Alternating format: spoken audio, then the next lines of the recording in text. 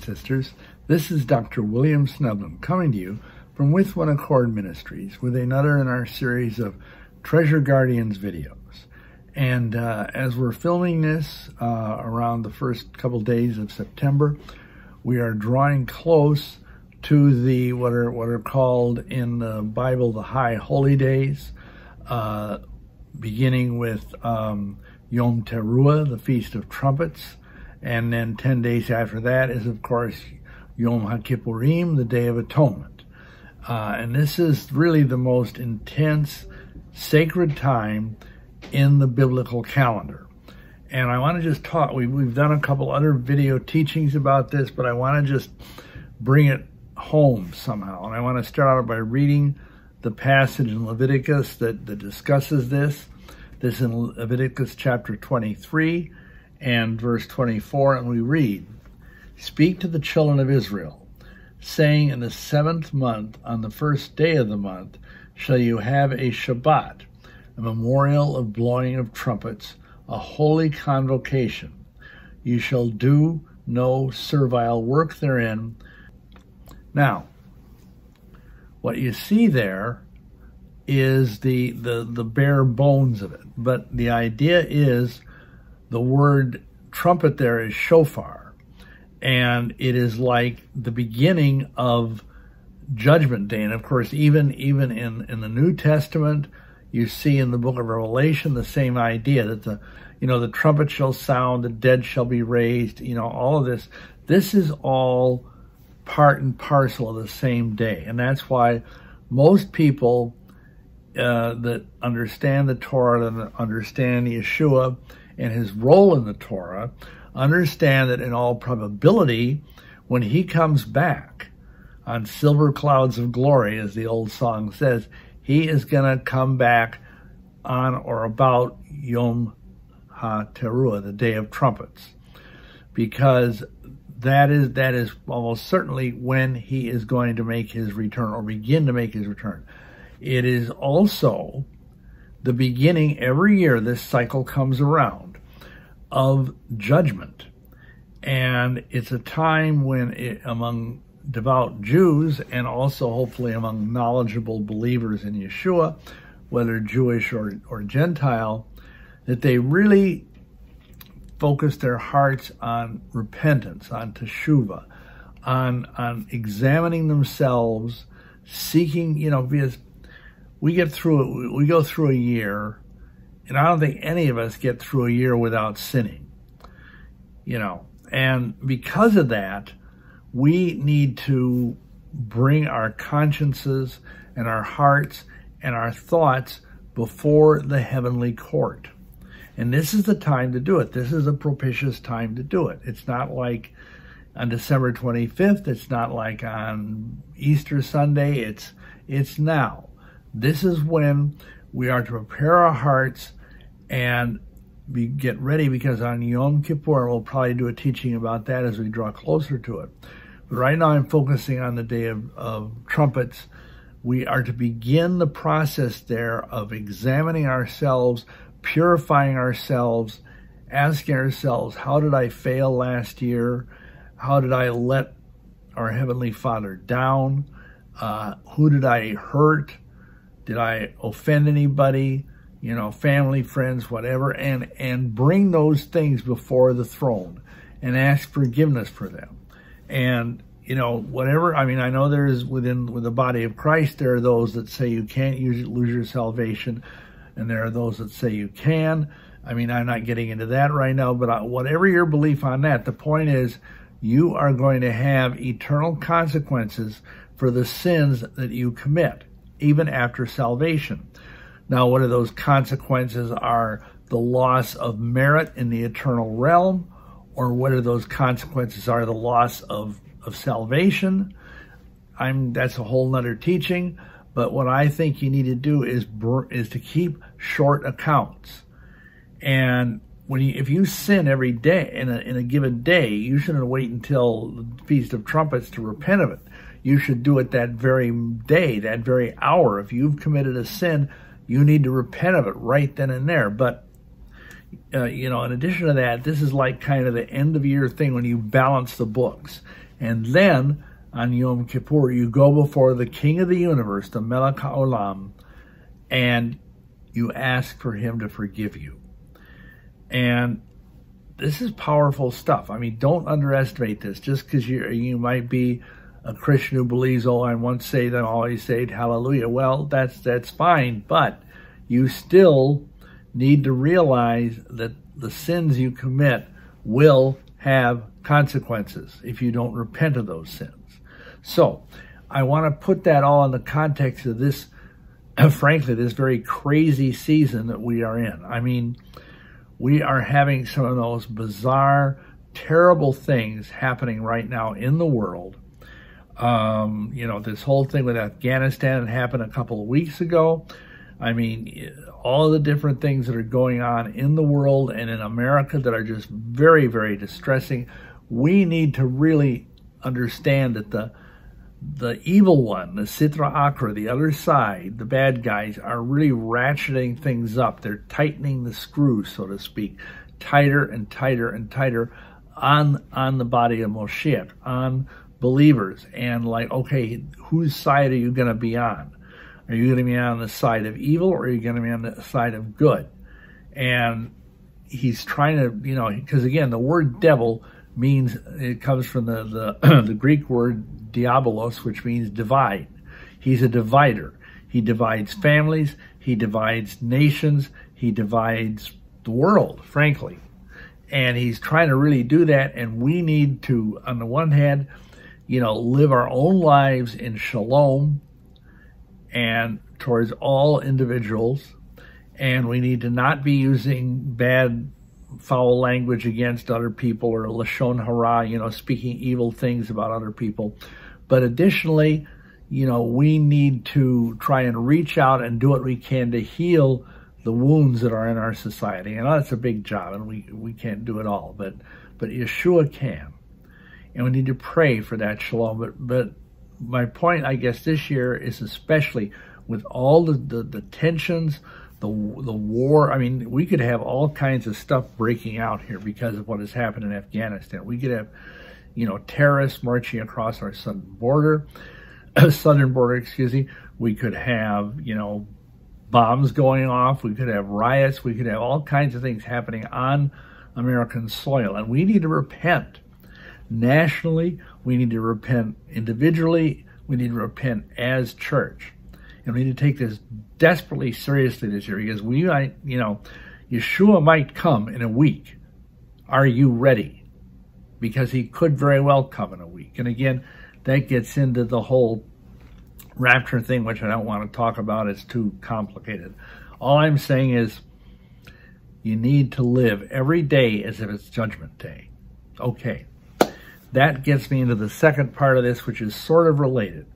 And that is the fact that, you know, in the midst of all of this criticality, there is a lot of concern about certain things that are happening in society, and I just want to address this real quickly, very carefully. Uh, people have asked, a lot of people have asked me, if I go out and I get a cow, is that getting the mark of the beast? And, you know, I think we need to look at this because it's a serious question. It deserves a serious answer. So, let's look at Revelation 13 and see what it says. This is where we find the whole thing about the mark of the beast. In uh, 13, verse 15, we read, And he, meaning uh, the, the, the second beast, this is, had the power to give life unto the image of the beast, that the image of the beast should both speak and cause that as many as would not worship the image of the beast should be killed. And he causeth all, both small and great, rich and poor, free and bond, to receive a mark on their right hand or in their foreheads, that no man might buy or sell save that he had the mark, or the name of the beast, or the number of his name. And then, of course, it goes on to talk about the number of his name is 603 three score and six. So, a lot of people look at this from a prophetic standpoint and they look at what's going on in the world and they're worried about this whole cow thing. Like if I get a cow, am I getting the mark of the beast? And let me just say this.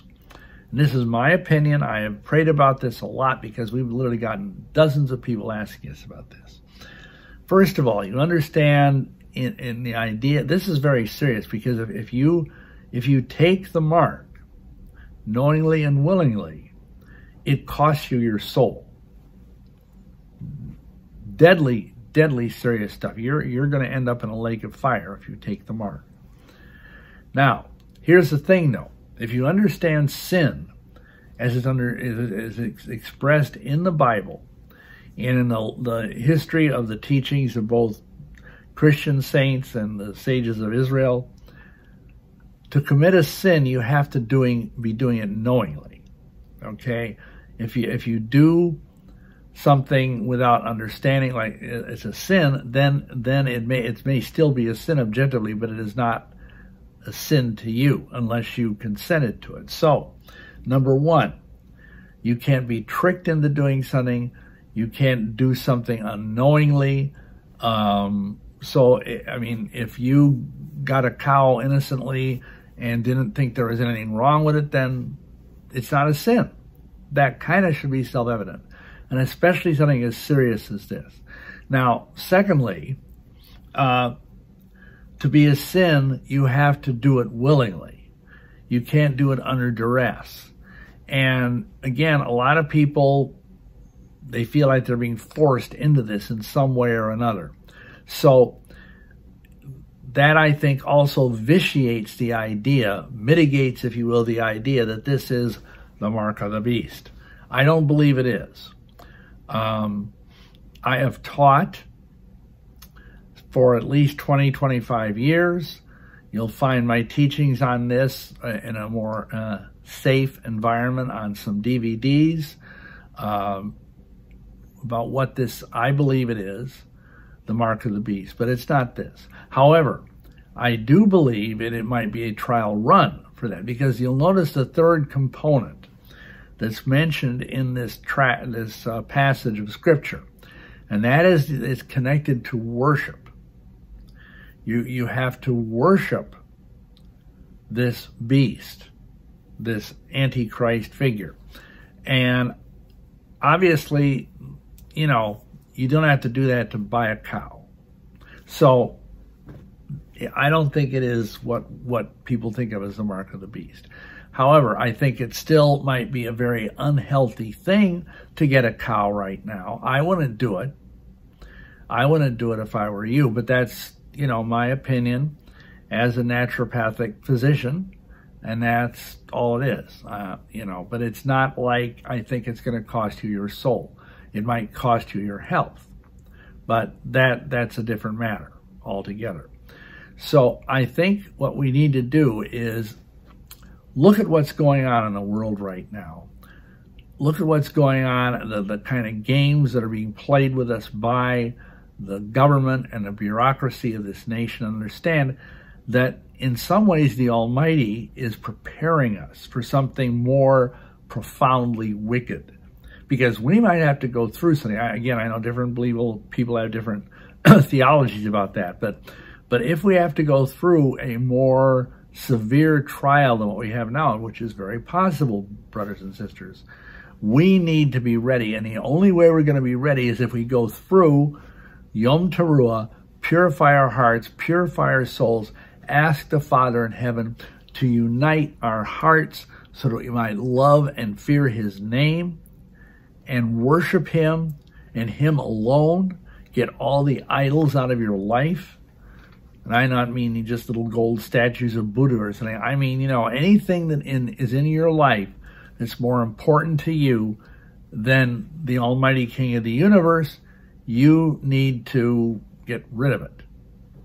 And you, not in maybe in the sense like, you know, if it's your job, obviously you don't want to get rid of it, but you, you do want to not put anything before him. And you want to be his bondservant above all else. You want to serve him and him alone. Hallelujah. So, that is the way you will be prepared for what may be coming. It may not be coming, but it's better to have your armor on, to be prayed up, to be purified, to have your engine clean, so to speak, and to be pure before the throne. Because you, whether you understand it or whether you believe it or not, by the time you get to, uh, let's see, it's going to be the Day of Atonement is the 16th of this month. So that's a little over two weeks from now. You need to be ready. You need to be ready to stand before the throne. Whether or not Yeshua comes back physically and claims the earth as his own, which would be hallelujah, wonderful, or whether you just are there spiritually. Because you'll be there spiritually whether you know it or not. If you don't believe in the Day of Atonement, oh well. The Father in heaven believes in it. Yeshua believes in it. It's his set apart day. And we'll talk more about that in, in, a few days. But for now, I just want to share these two major concepts with you. And I want you to, to fast and to pray and to really spend the next two weeks really examining yourself. Is there anything I can do to be a more effective soldier in the army of Yeshua? Is there anything I can do to be more set apart, more holy? You know, because he says, you know, walk before me and be perfect. And that's the message I have for you. And that's the challenge that these, these high days are, are presenting us. How can we purify our hearts? How can we purify our bodies and be more worthy servants of His so that when challenges come in our life, whether they're, they're global or governmental challenges or whether they're just personal challenges in our lives, you know, illnesses or job problems or whatever, am I ready? Am I fortified? Do I have the armor of light? Do I have the garment of light? Am I charged up and ready to take on whatever the world throws at me. Because if you are transforming yourself by the renewing of your mind every day through prayer and scripture study, then you will be ready to take anything the world, the flesh, or the devil throw at you. Hallelujah. And that's a comfort in and of itself. Because you know right now in this world there are saints of Elohim who are being tortured, who are being killed for their faith in places like Africa and North Korea and probably China too and other places in the world, the Middle East. We know right now Christians are in grave peril in Afghanistan. We need to pray for them especially.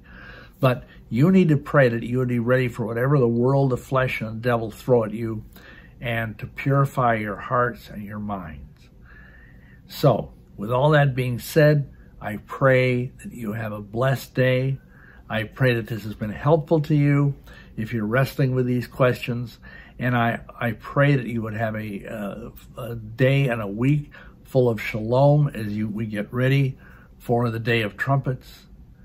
I pray that Yeshua would be filling your hearts and your minds with his love, his shalom, his healing, and his righteousness. Hallelujah. Thank you, friends. If you find this kind of material helpful, we would ask you that you would subscribe and share. Uh, get this message out because the more people that repent and do teshuva, the more people, the more power the the Guf Mashiach, the body of Messiah, will have to push back against the forces of darkness. And finally, we are a faith ministry. Would appreciate it if you feel so led to uh, support our ministry through your tithes and offerings. Thank you very much. May you be richly blessed in all that you do, in all that you pray, in all that you are. Shalom, shalom.